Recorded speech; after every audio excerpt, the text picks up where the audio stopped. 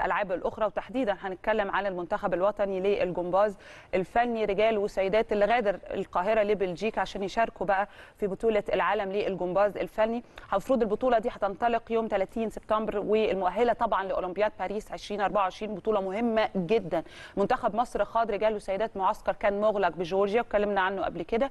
ده قبل انطلاق هذه البطولة والحقيقة خلينا نقول في مجهود كبير جدا مبذول طبعا وعندنا ثقة في الأول وفي الآخر في أبطالنا إن هم يتأهلوا بإذن الله باستحقاق لأولمبياد باريس. فالتأهل فقط أكيد يعني مش هقول مرضي لكن هو شيء يسعدنا جميعا. لكن عشان نقول بقى الأداء مرضي والنتيجة مرضية لازم يكون في أكيد يعني نتيجة على الأرض مكللة ب يعني ميداليات بقى إن شاء الله نتمنى تكون ذهبية يعني. لأن مصر برضو تستحق ذلك حتى لو إحنا بنتكلم على مستوى رياضة أو اتنين لكن إن إحنا نرجع من غير أي ميداليات ذهبية أو ميدالية واحدة بتهيألي مع كل التطوير اللي حاصل على الأرض حاليا والاهتمام بالرياضة في العموم لا إحنا ممكن نحقق أكتر من كده بكتير. على كل حال خلينا ناخد على التليفون الأستاذ أحمد المحمدي المنسق الإعلامي لاتحاد الجمباز. أستاذ أحمد أنا بصبح على حضرتك. بونجور.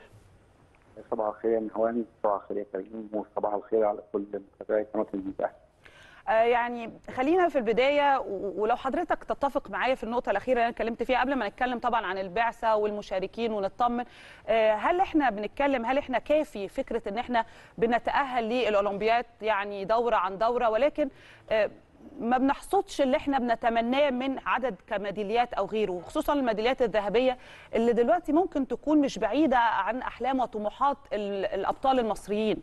فخليني أبدأ من هنا. طبعا معاكي حق يا نهاوند يعني في ظل الطفرة اللي مصر بتعيشها مؤخرا منشآت وبنية تحتية وكل دوت بيساعد جميع الألعاب بتكلم عن الجمباز بس جميع الألعاب إن هي تقدر تنجح وإن هي تقدر تحقق إن شاء الله ميداليات بصورة أكبر ويبقى ليها مكانة دولية ومكانة عالمية وتنافس في جميع المحافل إن شاء الله. ده اللي بنتمناه الفترة الجاية وخصوصا إن إحنا الفترة اللي فاتت يعني الحمد لله في العاب كتير جدا على المستوى العالمي قدرت إن هي تحقق يعني ميداليات ذهب و وتتصدر التصنيف الدولي يعني. فإن شاء الله الفترة الجاية تكون استكمالا للمسيرة إن شاء الله. بإذن الرحمن. طيب عايزين برضو فرصة وحضرتك منورنا على التليفون. عايزين نطمن على البعثة وعن عدد المشاركين. إحنا عندنا كام لاعب ولاعيبة هيشاركوا في البطولة دي إن شاء الله؟ يعني الحمد لله البعثه غدت امبارح لبلجيكا ووصلت بالسلامة. البعثه عندنا مكونة من ثمان لاعبين ثلاث بنات وخمس شباب. عندنا ساندرا الصادق وجنى عبد السلام وجنى محمود دول البنات. وعندنا من الرجال عندنا أحمد المراغي وعمر العربي لاعب النادي الأهلي ومحمد عفيفي وزياد خاطر وأحمد عبد الرحمن. دول البعثة اللي هي هتشارك إن شاء الله في بطولة العالم بلجيكا 2023 من 30 سبتمبر ل 8 أكتوبر إن شاء الله. هو البعثة عددها قليل نسبيا ولا بيتهيألي ولا هو ده الحد الأقصى اللي لا يعني هو بيه؟ لا لا لا هو مش قليل العدد المنتخبات بيبقى المشارك في البطولات ديت بيبقى هو ده العدد يعني المسموح به أو أكثر واحد أو اثنين ده ده العدد اللي هو المتعارف عليه في معظم الفرق اللي هتشارك إن شاء الله في البطولة بإذن الله. كويس جدا مهم كمان إن إحنا نطمن وأنا دايما بحب أنا وكريم يعني نركز شوية في النقطة دي. فكرة هنا توفير كافة احتياجات اللاعبين وكمان إحنا بنتكلم إن إحنا بنستهدف كمان مراكز أولى إن شاء الله في هذه البطولة. فهل كل الاحتياجات متوفرة؟ هل في مشاكل مثلا عند الأبطال؟ هل في مشاكل دلوقتي تقدر حضرتك تطلعنا عليها قبل ما بإذن الله نروح للاولمبياد اللي إحنا عندنا؟ أمل بإذن الله إحنا هنتأهل. يعني خلينا نتكلم من دلوقتي.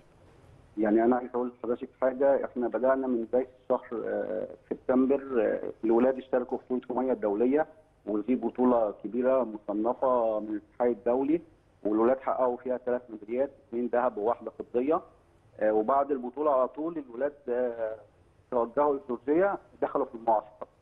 يعني لغاية قبل البطولة قبل ما يسافروا بلجيكا 48 ساعة.